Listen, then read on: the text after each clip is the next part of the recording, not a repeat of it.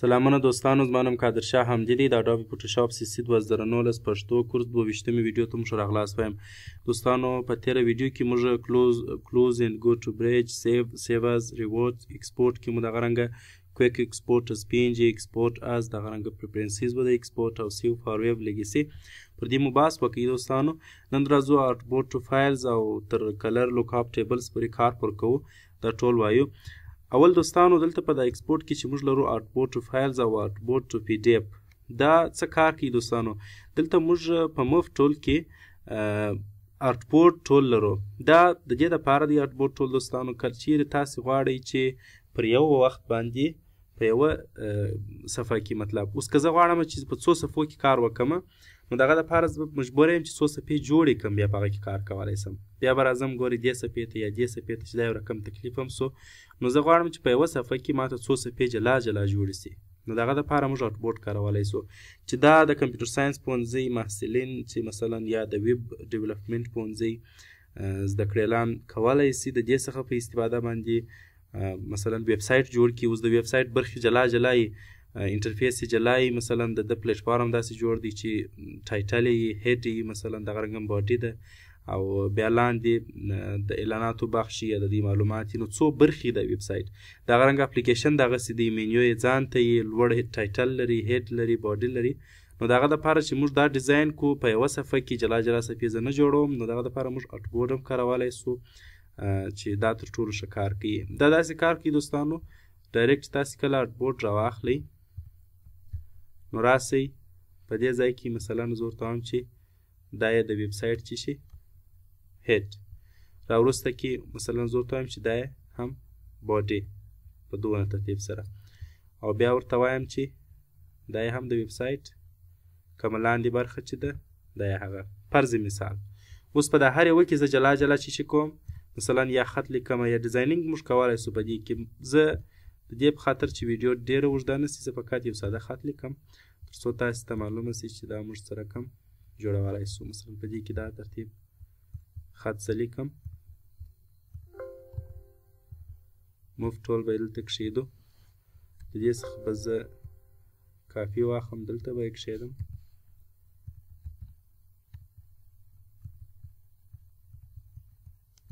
دې ته بیا داسې رنګ ورکړو چې څه فرق سره وکړي مثلا دې ته به نوم ورکړو هیډ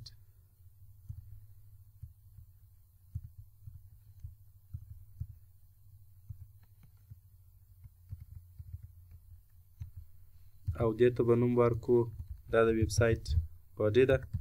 زه به د باډي نوم ورکم او بیا به دی را کاپي کو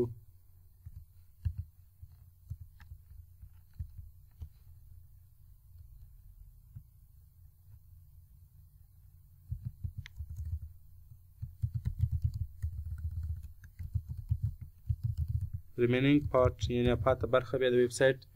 دلته راځي دې ته به زه جلا رنګ ورکم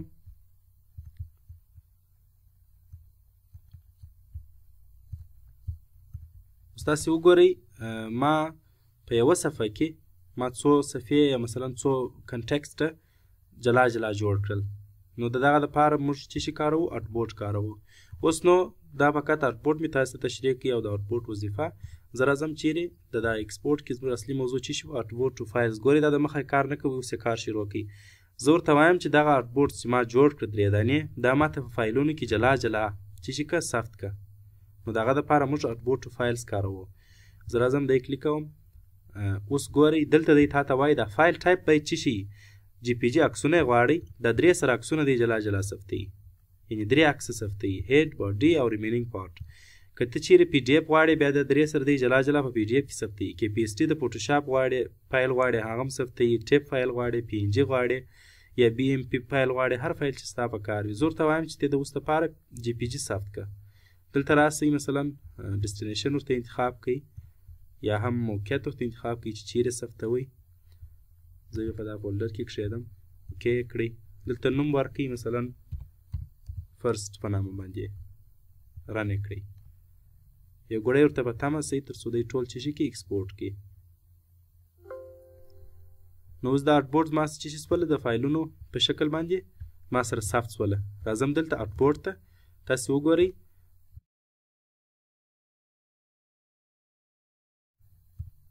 ګورئ هډ باډي ریمینینګ پارت یعنی ټول یې ماته جلا جلا چیش کړه ثبت کړل جی پی جی فایل په دغه باندې یعنی اټبورډ موږ دا رقم جلا ثبتولی سو اوس د دې کار بیا چیش سو د کمپیوټر ساينس پوهنځي د محصلینو خبره چې ما وکړله یا هم د ویب ډیولپرانو ده د هغو کار بیا دا سو چې دا بیا دوی په کوډ کې رااخلي مثلا په هیډ کې ایږدي د کوډ په واسطه باندې دا باډي کې ایږدي دا رمیننګ پارټ سو مطلب خپل د اپلیکیشن یا خپل د ویب سایټ هغه کوم انټرفیس چې دی یا کوم پلیټ فارم چې دی هغه دی جلا جلا په آرټ بورډ کې ډیزاینوي وروسته بیا هلته په کوډ باندې ایږدي دا یو مثال ما درکړي او نور هم آرټ بورډ موږ د ډیزاینینګ دپاره جلا مثلا یو کنټکسټ غواړو جوړ کو کولای شو چې آرټ بورډ چې شو کو استفاده کو او بل دلته په ایکسپورټ کې بل چې بیا دی دغه آرټ بورډ ما ته چې شکه پی ډی اف که نو دغه دپاره فقط آرټ بورډز ټو پی ډی اف کلیکوي په دې ځای کې راځئ دلته نوم ورته ورکوئ مثلا او دلته نور اپشنونه هم دي زیف ته اړوي جی پی جی در سره یږدي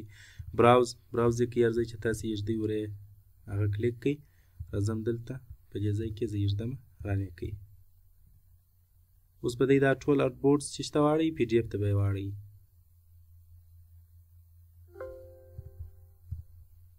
تاسو وګورئ یو پی ډي اف فایل ځینې جوړوي هغه بیا څو صفحې درې صفحې ځکه درې اټ بورډه وه نو اوس ګورئ دا ریمیننګ پارټ سو باډي سو هیډ سو او بل هم دوستانو په ایکسپورټ کې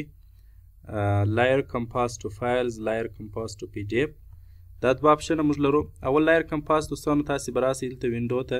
دلته زما سره دا لایر کمپاس په دې خاطر ګوري فعال دی ځکه چې ما په وینډو کې دا آپشن چې شي کړی دی د لایر کمپاس ته دا یوارې ما په کلیک کړی دی نو ځکه هغه اوس فعال دی ستاسو سره شاید دا چې شي غیر فعال نو تاسو به راسئ وینډو ته او دلته لایر کمپاس په کلیک کړئ تر څو دی ستاسو سره فعال شي دا د دې لپاره کارول کیږي دوستانو د لایر د پاره دا یو ساده یو کمپاس دی مثلا څنګه کمپاس دی مثلا زه راځم دا به زه ډلیټ کم دغه ځایونه موږ کولی شو چې ورته ډلیټ کو دا یو ساده کمنټ هم زه نوم ورکولی سم مثلا زه راځم په دې ځای کې ګورې زما سره درې لایرونه دي زه غواړم چې د اول لایر چې ریمینینګ پارټ دا لایر کم چې دی دې ته چې ورکم یو کمنټ ورکم نو زه راځم دلته ورته لیکم چې ریمینینګ پارت لایر کمپاس او په دې ځای کې راځم کمنټ ورکوم مثلا داسې یو نوم ورکوم داسې یو کمنټ البته ورکوم اوکې بیا راځم دا بل لایر ته هم چې کوم یو لایر کمپاس ورکوم په دې ځای کې ورته لیکم چې سیکنډ لایر کمپاس او دلته یو کمنټ ورکوم اوکې او دلته بیا راځم دا بل هیډ ته هم یو کمنټ ورکوم ثرد لایر کمپاس داسې یو ساده دغه به ورکړو اوکې تاسو اوس وګورئ دوستانو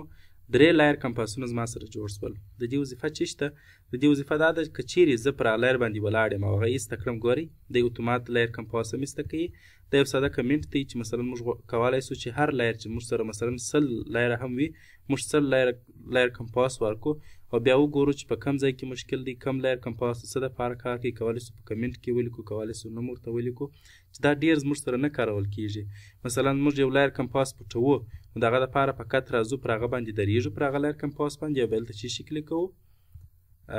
لاست ډاکومنټ سټیټ ګورئ بیا هغه لایر کمپاس موږ څخه چی شي کوي لایر پټوي په دې ترتیب سره. او بل که چیرې تاسو غواړئ چې یو لایر کمپاس غیر فعال کړئ نو فقط دا ایکن کلیک کړئ لایر کمپاس غیر فعال کیږي په دا ترتیب سره نو دا ټول د لایر کمپاس کار سو چې فقط یو کمنټ دی د لایر د پاره یو نوټ دی نو اوس دلته فایل ته راځو ایکسپورټ ته دی ماته وایي چې لایر کمپاس کمپاس فایل ته واړوه نو دغه د پاره راځم فایل دا کلیکوم مثلا دا په کم فایل کې غواړي زه ورته دا پی ډی اف ماته راوله براوز به کوي او دلته به زه کښېږدم اوکې رن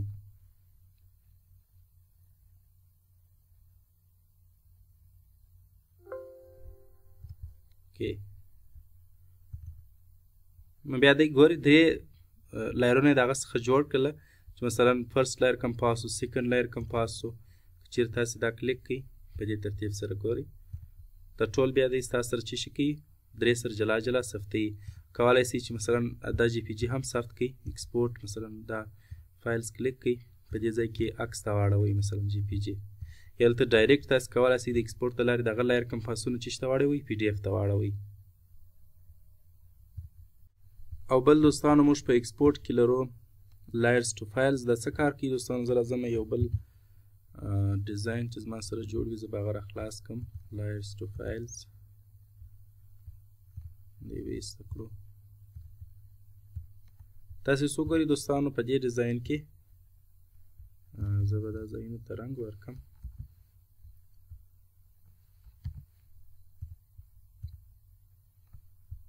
دلته دوستانو دا یو ډیزاین دی مثلا ما جوړ کړی دی په دې کې ګوري څونه ډیر لایرونه زما سره راسره سته دا ټول لایرونه دي نو زه اوس غواړم چې دا هر لایر ځان ته ایکسپورټ سي هر لایر ځان ته یا پی اس ډي فایل سي یا د هر لایر ځان ته جی پی جی یا پی ډی اف فایل سي د دې کار لپاره اوس موږ کولای شو چې د ایکسپورټ کې د لايرز ټو فایل څخه کار واخلو فقط دی کلیک کړئ راځئ ځای ورته انتخابوئ مثلا زه ورته وایم چې پر ډیسکټاپ یې ماته کښېږده لایرز ټو فایلز کې کې به یې کړئ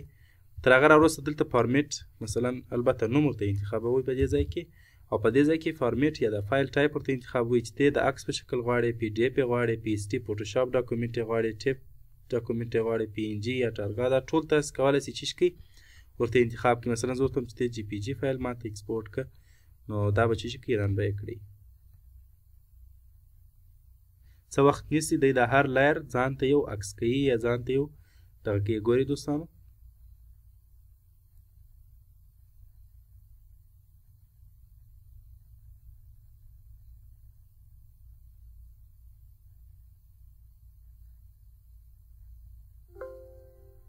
export layers to files was successful نو اوس راځو دلته چیرې چې موږ دی کښېښول لایر البته لایرز ټو فایلز تاسو وګورئ دا هر لایر ځان ته چی کی ایکسپورټ کی هر یو ځان ته جلا جلا موږ ته ایکسپورټ کوي دا هر ایکن ګوري نو تاسو کولای شئ چې د لایرز ټو فایلز په واسطه باندې هر لایر ځان ته چې شي کوي ایکسپورټ کوي مثلا زه غواړم دا پی ډی اف ایکسپورټ کوم نو فقط راسي پی ډی اف کلیک کوي او براوز یې کوي دلې اوکې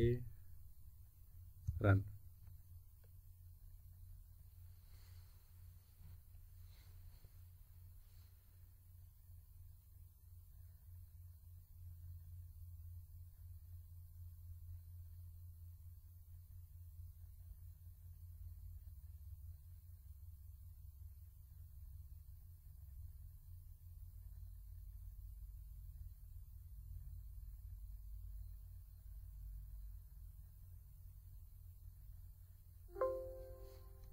دا دی پوره سو اوس راځو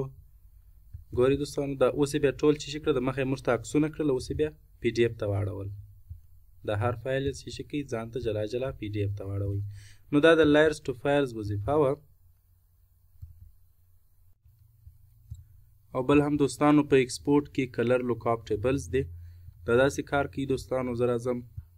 اصلا د کلر لوکاپ ټیبلز دا کار دی چې تاسو کولی شئ په یوه کلیک سره یو افیکټ افلای کړئ پر یو عکس باندې یعنې دا نه غواړي چې تاسو راځئ ایمیج ته یا فلټر ته افیکټونه ورته جوړوئ فقط په یوه کلیک سره جوړ افیکټونه دي تاسو افلای کولی شئ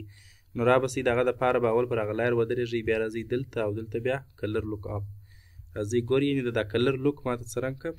تبدیل یې کماته مثلا راځي دا افیکټ افلای کوي ګوري په یو کلیک سره تاسو کولای شئ چې مختلف افیکټونه چې شي کوي افلای کوي مثلا دا ایکنونه هم ورته چینجولای شئ د ټیبل آرډر دی یا د ټیبل د رنګ آرډر دی دا ټول کولای شئ چې تاسو چې شي کوي ورته چینج کړئ کله چې کلر لوکاپ جوړ سو دوستانو نو تر هغه راوروسته راځئ چې شي په ایکسپورټ ته راځئ او بیا دلته د هغه کلر لوکاپ ایکسپورټوي کلر لوکاپ ټیبلز دا ماته چې شي که ایکسپورټ که نو دغه د پاره راځي دی اوکی کړئ ځای ورته انتخاب کړئ سیو کړئ ګوري دوستانو په دا ترتیب سره به دغه کلر رکاب زما سره چی شي سي دا ټیبلز به ایکسپورټ سي اوس تاسو کولای شئ چې بیا په نور ډیزاینونو کې فقط انسټال پروفایل کلیک کړئ او دغه کلر لوکاپ پر هغه باندې چې شي کوي اپلای کړئ نو دا په ایکسپورټ کې د کلر لوکاپ کار سو په بل درس کې به دوستانو ډیټا سیټس از فایلز پیټس ټو الستریټر رینډر ویډیو او زومپای باندې کار کوو ستاسو له توجه نړۍ مننه د خدای پامان